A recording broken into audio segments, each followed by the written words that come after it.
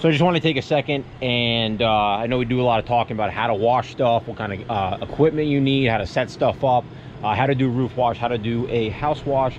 Today, I'm going to show you guys kind of some of the gear that I'm using, kind of the stuff that I think is essential. Doesn't matter what kind of brand you're wearing or, uh, or using. What matters is that, you know, some of this stuff will really make your day a lot better. It'll keep you cool. Uh, some stuff will keep you dry and uh, I've kind of I've tested a few different things now and kind of what I'm working with here uh, seems to last the longest and kind of puts up to the beating uh, beating that I put it through. So let's start here at the feet. So this is my first season uh, using these. I've only had these uh, uh, a couple let's see maybe a month month and a half and they're already pretty dinged up. Um, you know the shingles will take a beating on some of this I'm neoprene i'm not even sure what you would call that like this mesh area. And then i was uh, on a pretty steep roof today. I was doing some sliding around um, on my on my butt and stuff and trying not to be on my feet. Um, it's getting some scuffs but it's holding up really good. So these are huck. Um, there are a lot of different brands out there that um, you know have this waterproof type shoe. It's also got a good uh, tread on it. It's really uh, really sticky when you're on like wet decks and stuff like that. Um, it's pretty good on the roofs. The only thing i'll say about these actually they are good on the roofs but you want to be careful on a steep pitch. And i don't mean like i mean a, a steep pitch that's still walkable. Um, because you're not lacing in and because you're not getting any uh, tightness around your ankles when you're up on a steep roof and you're trying to like do a steep grade um, you don't have a lot of ankle support. On basically your average roof they're great. The, even on the steep roof i mean these grab um, it's just you don't have the ankle and your feet kind of slide around a little bit. You don't have the ankle support. These have been awesome so far. Um, i was wearing hiking boots uh, last year and the beginning of this year. Hiking boots were great. I really enjoyed wearing the Merrells um, or no, I'm sorry, they were Adidas. They were like Adidas hiking boots. They were great on the roofs, but they wore out really quick and they were they say they were waterproof. They weren't. This is, um, I'm sure the chlorine, the bleach had something to do with that. I probably wore down that waterproofing layer pretty quick. This is just all like a rubber. Um, it's completely sealed. It's not separated from the sole. It doesn't seem like. So really happy with these all the way around for washing and on the roofs. The only thing I don't like about them again is the, um, the, the lack of ankle support. But 99% of the time, they're great. The second thing we got here are these pants. So I was going through pants left and right. I was trying to figure out, you know, what was comfortable to wear, what was going to be durable. I was wearing, um, I think they were Carhartt. Um, they're kind of like Carhartt Flex work pants. They had some poly in them, which is why I got them. I, I you know, you're coming up to a, uh, a customer's house to give a quote, you know, have a bleach discussion if they want to, and, and you don't want to have stained clothing. Um, the Carhartt stuff was pretty good because of the poly in it, but they weren't 100%. So there was, still was some fading. Um, it took a while to really set in. You had to really kind of bathe in it. But again, you know, wearing them every day, every week, you we definitely did uh, get a lot of that fading. So I, I wasn't a huge fan of that. And also the material was a little thin. What these pants are is Truewerk I don't know if I saw these on like an ad somewhere online or if someone recommended these. Um, they're not sold in any stores around me. I had to go online to their website. Uh, these things are actually pretty awesome. So these are fully um, synthetic, I guess. I'd, I'd, have to look at the tag. I don't want to say poly because I don't know 100% if it, if it is, but it's definitely a non-standing material. So I, these haven't been washed since today. This is like a residue from the chlorine, but I've been wearing these for uh, probably a month now, and there's no actual bleach stains. I mean, that is pretty black. So there's some cargo pockets on the side, some zipper pockets. There's a cargo pocket here. Um, they're getting beat up, but I wear these every single day for everything I do. The other nice pro, um, pro to these pants is that they're waterproof.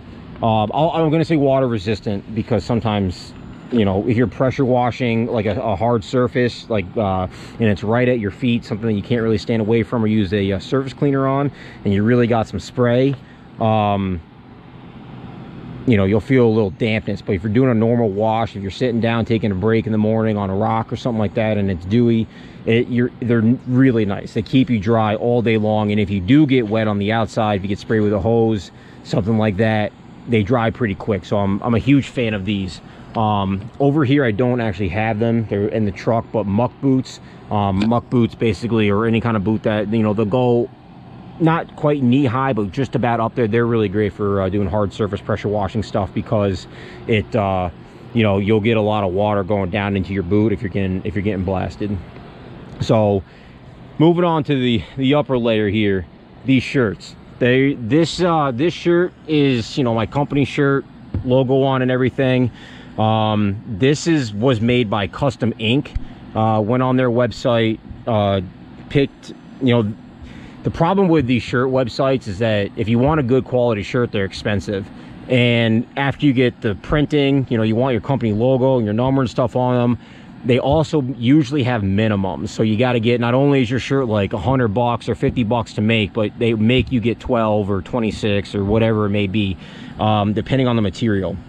Custom Ink has some really good options. This was kind of like a middle of the road. I wasn't, you know, I'm the only employee and I, you know, I, I gave my wife a shirt and, you know, a couple family members and friends shirts, but like I don't need 12 shirts. Um, I think they, I think I got six was the minimum that I could get with these, which was fine. I got a couple extras and I just beat into them until, you know, I got to put on a, a, a new shirt. Um, but these are relatively cheap. They're really easy to design. Again, that's custom ink um but this is a good like mix so i think this is like rayon polyester um and a few other synthetic stuff uh this doesn't get washed every day i only wash uh i only wash this stuff once a week. At the end of every week it goes in the washer and dryer. So this is already three days on it this week and no stains. Got some dirt and some grime and stuff. Um is i just don't believe in you know wasting the water to wash this stuff every night when i'm just going right back to it tomorrow. So but these are these are nice. You really want to have something that's going to have some uv protection. Um, i like the dark stuff. I think like the dark kind of uniform looks good. Um, but dark stuff you know it, it, can detract a little heat but it's also really good with uv protection and that is kind of the most important thing about this yeah you want to stick with the poly theme so you're not getting staining like that's a carhartt hat we'll talk about that in a second that's part poly um, and it's actually kind of similar to the color of the old pants i was wearing from carhartt so I have a feeling that 100% of this hat has been hit with chlorine at one point or the other. But you see that only like portions of it are staining. Like you don't want to be walking around with, with stains. So this stuff doesn't stain. Poly, dark, UV protection. Um, I like long sleeve because I don't want um, I don't want like SH, you know, if you're on a windy day or something like that and it's kind of blowing around, I don't like SH on my skin um, more than it needs to be. So I like the long sleeve. Uh, doesn't really matter to me if it's uh, 60 degrees out or 600 degrees out i'm usually in this long sleeve shirt and those pants so this hat i've actually only been wearing like a, a week or two um, this thing's been awesome uh, i saw this when i was in actually looking for these pants at a local safety supply place um, to see if they had some good work pants uh, i bought this because of the heat and keeping like the sun off of your head and off your face and off your neck when you're outside all day um, I like to wear a ball cap a lot, like the trucker hats and stuff, but they don't really cover your neck and they got that mesh. Um, so, you know, they let in a little light, they let in some, some SH. Um, the inside of this hat has no staining really, a little bit here, can't really get to a little bit here. But if you look at how heavy this is stained, um, you know, this is from being under gutters while they're dwelling and doing something else.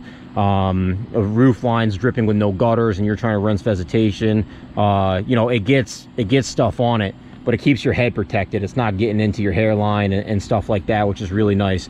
This also blocks the uh, the, the sun. Uh, and you know, if it's cloudy in the morning and it's cool and I want to wear my ball cap, I'll wear my ball cap for a while. And then once I really start feeling that heat on my neck and stuff like that, I'll go put this on and instantly it's like a 10 degrees difference. It just blocks all that out. This also is really good at keeping SH off your face if you're trying to hit something um, you know, and it's blasting back at you sometimes. Uh, you know, we've been having a lot of windy days lately and uh, some stormy days. I don't like to reschedule because of that stuff, so I'll wash in between, you know, a rain shower and, and whatever else is going on. But lately we've been having some days where the sh has really been kind of blowing back at you when you're trying to wash. And uh, this has been great for kind of just keeping it off your face and everything like that. Um, another great thing are nice sunglasses safety glasses whatever you want to wear. Uh, keep the sh out of your eyes. And again you're in the sun all day. Hopefully if the weather's nice by you uh, you want to be protected. Next is gloves. No matter what i'm doing whether it's uh, a house wash a roof wash or just doing uh, a gutter clean i always double layer. Um, i really have been digging these hardy uh, and again like the brand doesn't matter. I get a i usually get a different brand every time like whatever is in stock. Um, these just happen to be hardy industrial use and i have found that the seven mil thickness is by far my favorite. Um, and i've kind of been slowly moving up. I don't know if i'm going to move away from these. I don't know how high they go I wouldn't mind trying something a little thicker, but like the seven mil is awesome. And the reason for that, really the only reason for that is dur uh, durability. So as you can see, these are also kind of like throwaway gloves. These are just nice work, uh, you know, dipped hand and, and finger gloves with uh, just kind of a mesh airy uh, top. These are pretty cheap. You get like a pack of, I think, 20 pairs um, and again i grab a different brand kind of every time. I can't i think this is grease monkey. They're really good but i would take you know any anything of this style. Um, these i work until the fingers are blown out so i don't really care too much about this stuff. Um, once you start losing in here and on the fingers your gloves underneath will tear. So i also wear these repeatedly. So i will wear these i will pull these on and off my hand uh, multiple times throughout the day, sometimes even throughout the week um, until these fingers pop. Eventually they'll blow. Um, a lot of times that has to do with these and that's when I'll replace something. I get a lot of life out of these gloves. I get a lot of life out of these um, the, the, these nitrile gloves. Uh, they're great though. They keep the SH off your hands all day. They keep you dry. They keep your hands out of that disgusting water that you know you're finding in gutters that haven't been cleaned out in a decade. Um, I really like both. I like the combination of both um, the seven mil and these gloves they'll, they'll go a long way. You can really put some abuse to them um, last but not least is hydration. Last year i kind of got myself into a pickle. I was working nights and then getting out and going and working all day doing you know the soft wash stuff. And i one day i had just come off the night shift got out went out my truck.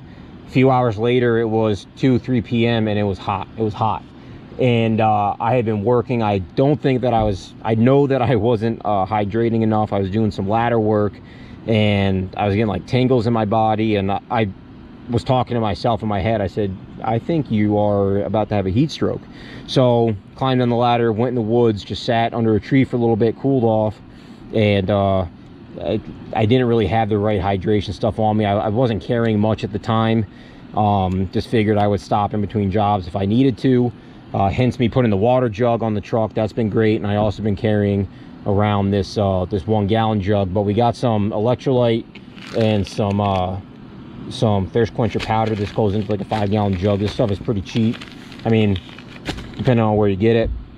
But uh I, I started getting like the onset of like heat stroke it felt like or like a whatever you want to call it a heat uh just overheating.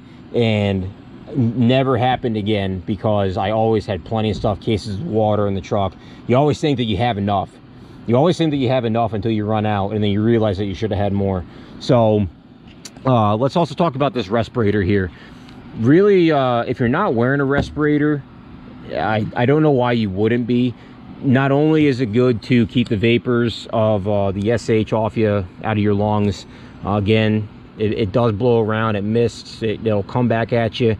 Um, you really don't want to be bringing in breathing in water all day either. So even if you just weren't spraying sh but you're just around like the water and the mist all day long i mean that alone is enough to to get one of these. This happens to be 3m uh, they were this is my second one so i i blew through one last year. Not the, the respirator part or i guess these are the respirators but the face mask part was fine but these straps um there was actually a hand-me-down I had started my business like right before COVID started and I didn't know about, you know, using a respirator yet. I was just kind of wearing, uh, you know, like a, like a COVID face mask, um, just to kind of keep it off my face.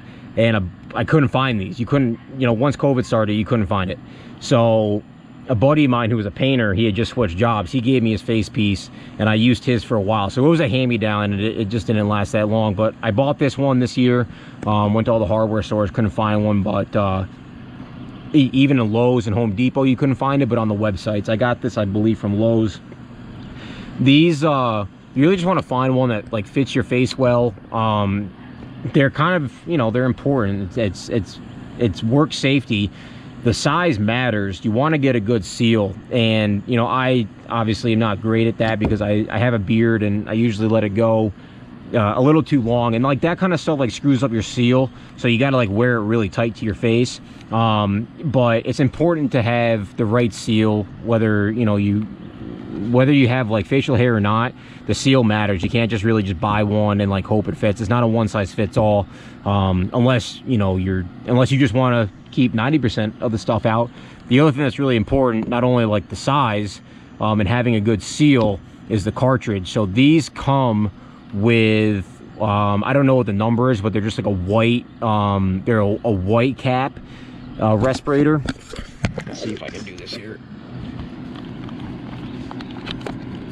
So these pop off. So these are interchangeable for different, uh, these pop off for different situations that you might have or different stuff you're working with. This is for chemical vapors. So these are pretty beat up, so I can't see the number anymore. This, this is a 3M. I think it's, I don't know, I can't, I can't really see what these, P100. Um, but I'm sure if you just Googled like pink respirator, pink 3M, um, these are for chemical vapors. And what you don't want is the ones that come with these are the ones that you're going to find more commonly in hardware stores or like the white ones, which are for, I believe, like organic or construction material. Uh, you don't want those because they're not going to really have, um,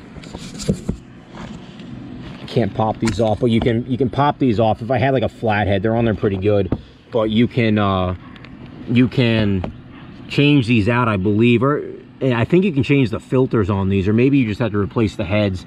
On the ones that I was using when I first started, they were uh, the white pads. They were just for painting. I got them from a painter. And again, you know, you learn and you move on. Um, uh, you could change the pads out, so I don't know about that. But uh, that's about it. You want to have important gear. You want to have uh, the right stuff. You're in it all day long. You're working with caustic chemicals uh, vapors. It's not just, you know, go out and, and have the right hoses and the wands and, and make sure that you got like the nicest equipment. It's, you want to have like the safety stuff. You want to have your work gear. You want to be comfortable. You don't want to have wet feet all day and wet legs and wet ass and, and have SH all over your arms and be in the sun, getting sunburnt.